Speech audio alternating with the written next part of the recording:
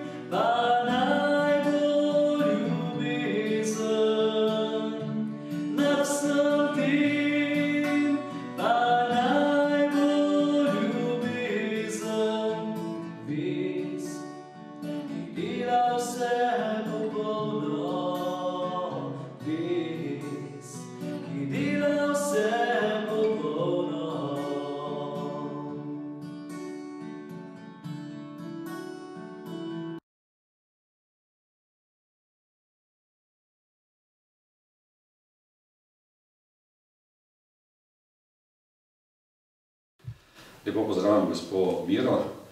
Morda bi vas prosil, da kakšno besedo uh, poveste o tem eh, vikendu za žrtvojoče, o vaši skupini, morda vašo izkušnjo, pa jo podelite z našimi gledalci in morda bo kdo izmed naših gledalcev rabil vašo pomoč in se bo tudi lahko obrnil.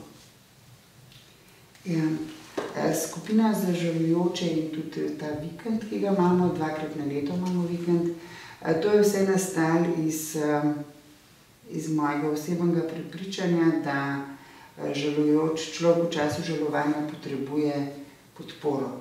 Eh, Jaz sem eh, sama doživela žalovanje, ko mi je umrl mož, pa sem tudi imela izkušnje velikih drugih smrti svojih bližnjih ljudi. In tako sem morala ugrizniti v to grenko spoznanje, kako potrebuješ podporo. Ne?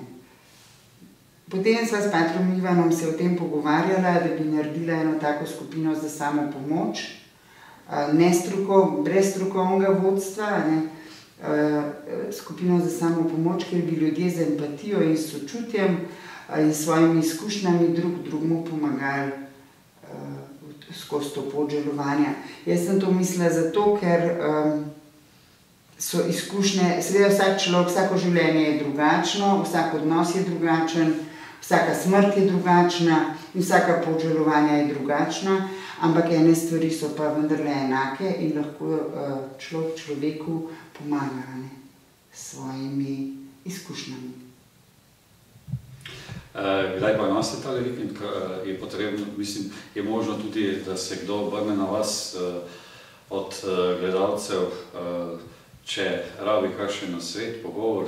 Ja, mi imamo skupino za samo pomoč, imamo vsako tretjo nedeljo, v, eh, v nedeljo popovdne. To je skupina, ki, odprta skupina, sestaja se, sestajamo se uh, ne glede na to, koliko ljudi pride, različno število je. Eni ljudje so že nehali hoditi, eni ljudje so se preselili v skupino za udovele. ker je vendarle največ, eh, največ med temi žalujočimi, ki pridejo v našo skupino, je največ uh, tistih, ki so izgubili moža ali pa ženo. Tako da so se nekateri že premaknili v skupino za vdovele. Imamo seveda tudi ljudi, ki žalujejo za, ali za starši ali pa za otroki. Uh, ta skupina se pač sestaja vsako tretjo nedeljo. Dvakrat na leto se pa dobimo na vikendu. Zdaj bo to, mislim, da Mislim, da bo to zdaj četrto srečanje, to so potem tematska srečanja. In smo šli, začeli smo s takim provokativnim programom z naslovom Dobr dan, žalost, zato da bi, to je bila prva tema. No. Zdaj, zdaj le oktobra bomo imeli temo Ne skrbite, mislim, da imamo naslov Ne skrbite, ja. In to je potem en vikend, v katerem poskušamo pogledati, kje sem v svojem želovanju, kaj mi lahko pomaga, kaj me ovira, kaj lahko naredim zase in, lahko, in kje lahko dobim pomoč in podporo. To so zelo simpatični vikendi, jaz mislim, da se imajo ljudje dobro in da veliko odnesejo od tega vikenda. No. Je pa verjetno, da ljudje, eh, ljudje se v tem času ne znajo dobro pogovarjati, oziroma ne znajo prisluhniti, in včasih je veliko uh, samo malo potrebno, da človeku prisluhnete, da ste kakšen na svet, eh, kakšno spodbudo. Ne? Na svetu ne dajemo, na sveti so najcenejše blago na svetu. E, najlažje je delati na svete, tega ne delamo. Pač pa pripovedujemo svoje izkušnje, pripovedujemo en drugemu e, in pa z, trudimo se prisluhniti en drugemu, e, začutiti stisko. Eh, začutiti ta iskanje, ne, povedati, kako sem jaz na, uh, iskal, kako sem jaz najdel eno pot, uh, kje je kakšna dobra literatura, uh, kje so kakšne take misli, ki te lahko vedno premaknejo, mečkam iz obupa, pa iz tebe ven. Uh, trudimo se, da bi se človeku približali. To je zelo potrebno, zato ker žalujoč človek se zapre vase. To je m, najbrž je to, jaz ne vem, kako je s kakšnimi drugimi hudimi stiskami, ampak žalovanje je prav gotovo osamljen posel. To je gotovo, če se človek tako zapre, da ne vidi, recimo, da zraven tebe trpi tudi nekdo drug. Zelo šokantno je, ko, uh, imamo, uh, ko imamo temo, pogledaj okrog sebe, kdo še vse v tem trenutku žaluje za to isto osebo, za katero žaluješ ti. In je prav zares pretresljiv, ko ljudje odkrijejo, kako so se zamrznili v svoji žalosti in odrinili vse druge, ki so tudi žalostni, ki tudi trpijo. Uh, ampak človek v tej hudi bolečini ne vidi ljudi okrog sebe. Tako da mečkam odpiramo, mečkam na teh skupinah, mečkam odpiramo to človekovo osamljenost. To človek, tudi, to, um, tudi to človekovo samozadostnost. Jaz se spomnim dobro iz svoje lastne izkušnje, ne, da sem odrivala vse prijatelje, vse sorodnike. Hvala lepa, puste me primir, jaz bom to sama naredila. Ne. Ker človek je tako ranjen, uh, to je najbrž to en tak refleks, kaj je, ne, da, da odrivaš vsako pomoč. Ne. To se trudimo na teh skupinah, da bi žalujoči ozavestili, da drugi ljudje, da ti lahko pomagajo, da ti težko škodujejo. Pomagajo ti pa lahko, če jim dovoliš, da pridejo blizu tebe. Spominjam, jaz se vam zahvaljujem za pogovor. Gledalci ste lepo povabljeni in vam v življenju želim obilo Božjega blagoslova in vse dobro. Hvala lepa.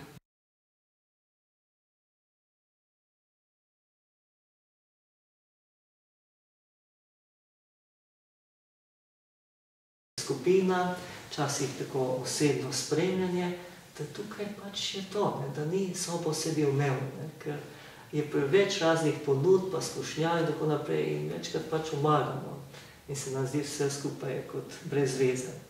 Drugo pa je tudi, ne, da tudi telesne vaje, v en rekel so važne, drugi v rekel niso važne, ampak vedno bolj vidimo, ne, da ljudje potrebujemo tudi telesne vaje ne, in dol nekako se te nauči, dobi neki red in nekako naprej lahko hodi. In tudi sam vem, ne, ko mi je holesterol prišel na 7,2 ali 5 celo, ne, in so bile potem ali tablete, ali boš nekaj naredil, ne, ja, da sem začel pač vsak dan zjutraj vsaj pol ure hoditi, malo hoditi, tu na grad, pa teči in tako naprej. Pa so se stvari uredile, ne. Ker sem začel malo, ni bilo dovolj mi samo to, da sem si vzel oro za molitev, tako o Božji besedi ali pred najsvetejšim, ampak sem mogel upoštevati to telo, da se mora gibati in tem živeti. Ne.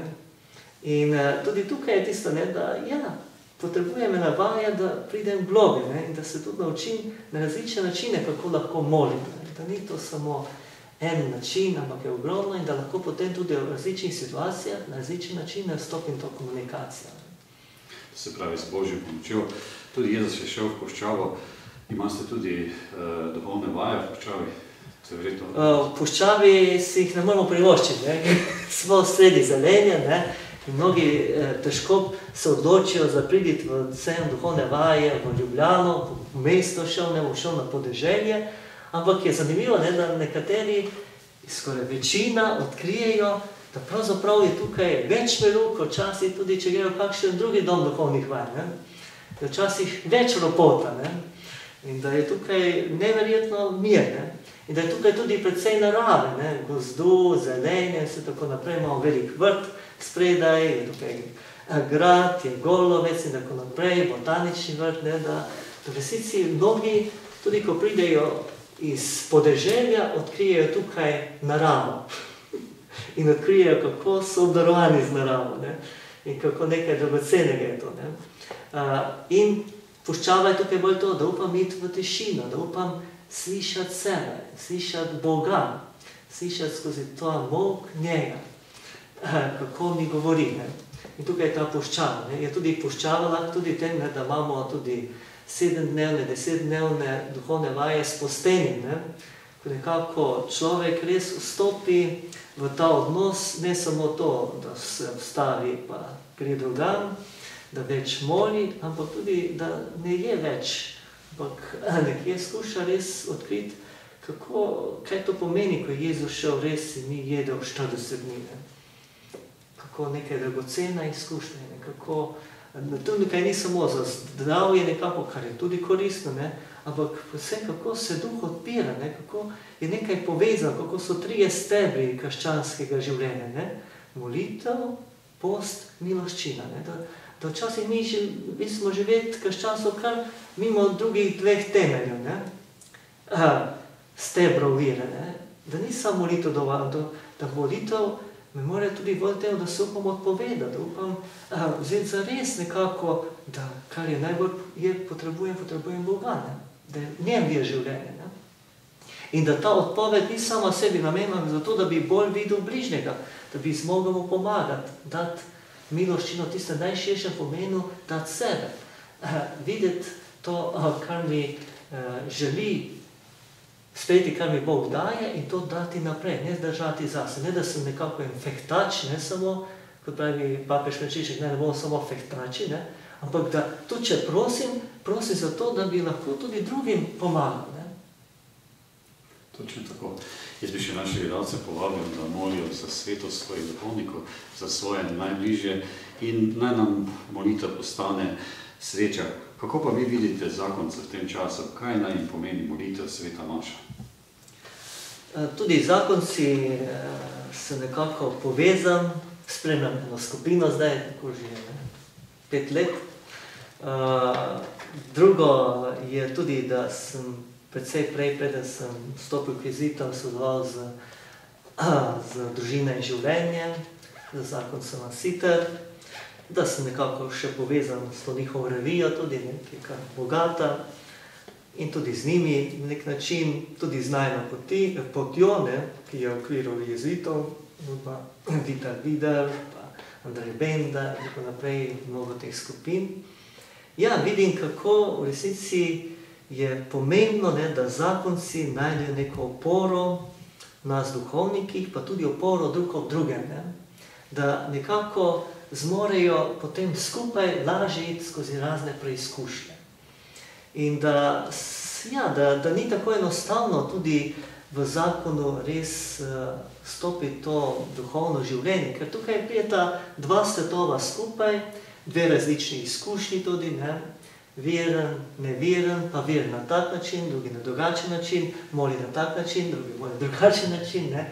Kako spoštovati drugega, kako zdaj zgraditi naprej eno skupno molitev, pa hkrati se zaveda, da rabi vsako osebno molitev, kako zdaj tudi k maši, na kak način zdaj to mašo globe živeti, ko včasih s to pozornostjo na otroke in vse to, majhni otroci in vse to, uh, kako zdaj z njimi, vsem tem, ne, ja, ni tako enostavno. Ne, in je velika opora in prav to, da se tudi naučijo poslušati drugega, da se naučijo deliti tudi to drug z drugim, ta odnos z Bogom, to svojo pot, to svojo nemoč, da se naučijo moliti drug z drugim, da obhajati Euharistijo drugega, živeti v Euharistiju potem sredi svojega življenja, v vseh razsežnostih svojega odnosa. Ne? Tako da je tukaj en, ja, en velik dar, je lahko uh, resnici resno delo duhovnih vaj, duhovnih skupin, pa še jih zakonskih skupin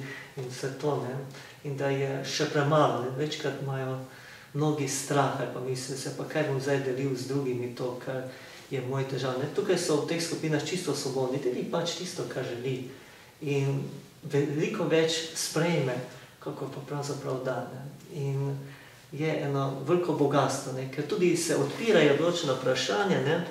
Ki jih drugače sama niti ne začenjata, ne? ker potem je takoj lahko vprašanje, pa zakaj pa zdaj to, kaj pa je problem in tako naprej. To se pa zdaj na tema čisto od zunaj, ne? pa se pač soočata ne?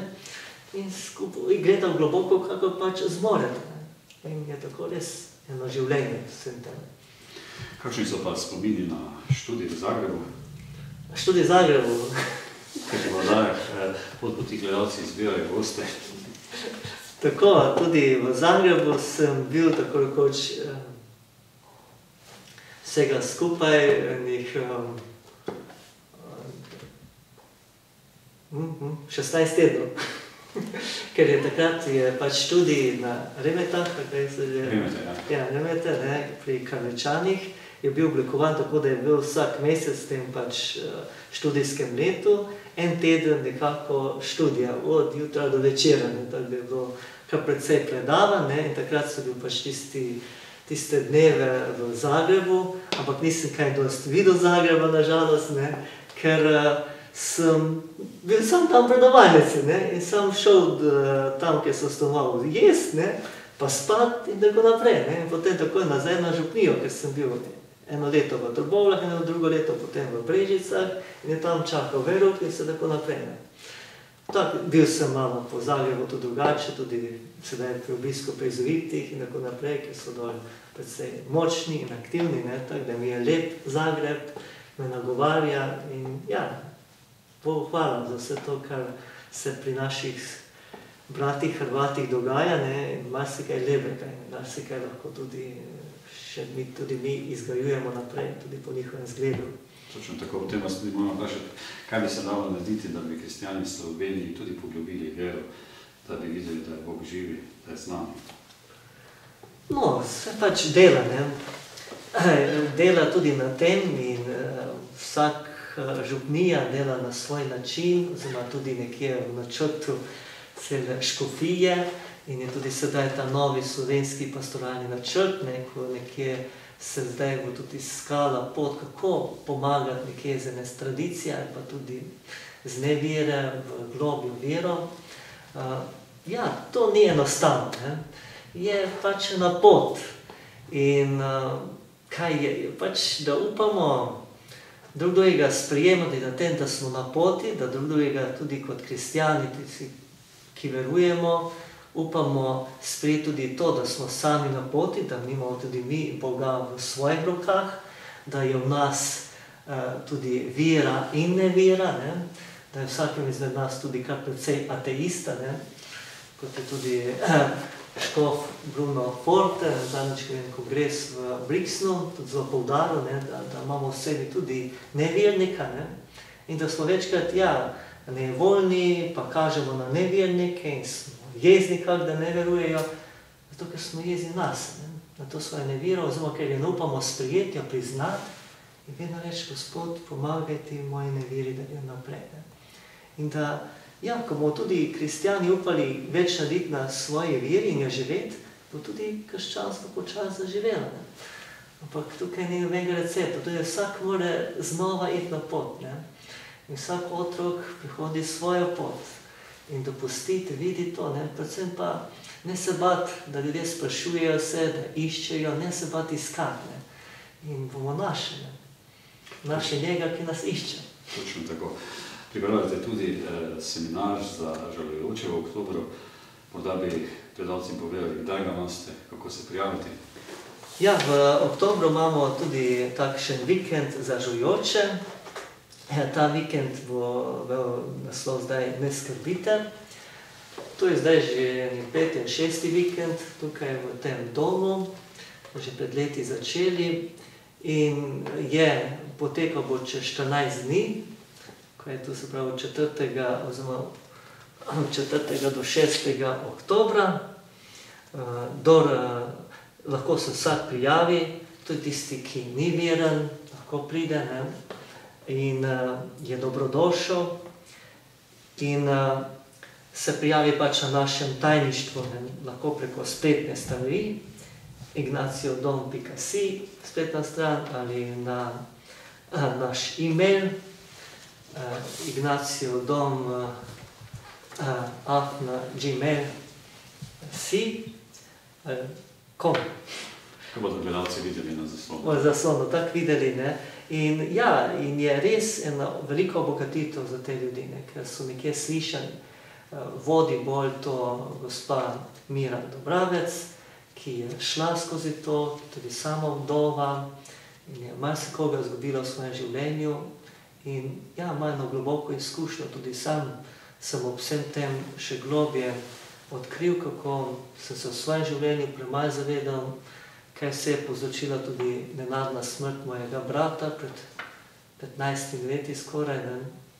ko sem ga zgubil, ker sedi življenja, pri 37 letih umrl. Ne? Ja, kaj to pomenilo za me, kaj pomenilo za njegovo družino, žene, dva otroka, moje starše, tako naprej, ne? in kako potrebujemo drugega tudi na tej poti. Ne? Kaj bi položili na srce našim gledalcem ob koncu te zanimive krščanske oddaje? Um, predvsem bi ponudil uh, na srce to, da bi upali globje prisluhniti življenju. Prisluhniti vsemu temu, kar jim je v življenju dano, da, da bi upali ja, prositi za to, da bi videli to obdarovanost in da bi upali videti za vsem tem darovalca, da bi videli, da, da nič ni samo po sebi umevno. Jaz se večkrat začutim, kako sploh, da lahko zaspim. Sam ne morem nič si dati spanje. Ne? In kakšen dar je zdaj, da se zbudim in da lahko vstanem, da lahko razmišljam, da lahko začnem živeti. Kakšen dar je že vse to. Ne? In, ja, in kako pravzaprav je Bog nam blizu in kako nam podarja nas nam samim, da bi lahko tudi vi postali dar. In kako, če se zavete obdarovanosti, ne, teh majhnih stvari, tega čisto vsak dan ko se zdi, da je sobo sebi umevno, ampak da se zaveda, da nič ni sobo sebi umevno, da to tudi lahko ne bi bilo, da je vsak, da, vsak trenutek darovanni, ne, vsak dih, vsako trip srca, kako je v meni se potem prebuja hvaležnost, kako se meni prebuja čudenje na tem, ne? kako počasi začnem videti, da sem v resnici bogataš. Ne? Da je veliko, velik dar tega a, življenja, prav dar življenja in kako sem s tem Bogom, ki mi preko vsega tega življenja, da ga lahko živim, služi, poklical tudi, da bi jaz služil njemu in služil drugim, kot on služi, da bi lahko živeli. Da bi tako res upali živeti in drugemu prinašati življenje z veliko pisano. Da bi upali verjeti, da je vse to, da vse, kar imamo, potrebujemo toliko, koliko nam pomaga, da bolj res živimo, ne životarimo in da lahko bolj ljubimo, bolj služimo drug drugemu. Da ne samo čakamo, da bojo drugi nam nekaj naredili, ampak kaj lahko jaz drugemu pomagam, naredim. Bog daj, da bi tako bilo. Jaz se vam iz srca zahvaljujem za pogovor, za misli, ki ste jih podelili s našimi cenjenimi gledalci. Eh, V življenju vam želim obilo Božjega blagoslova in vse dobro. Hvala. In vse vas lepo pozdravljam, želim obilo blagoslava v življenju. Vas, prijatelji, pa lepo pozdravljam iz eh, Ljubljane z tistim lepim krščanskim pozdravom. Hvala Jezus in Marija do naslednjega snidenja v vaši domači oddaji pot poti.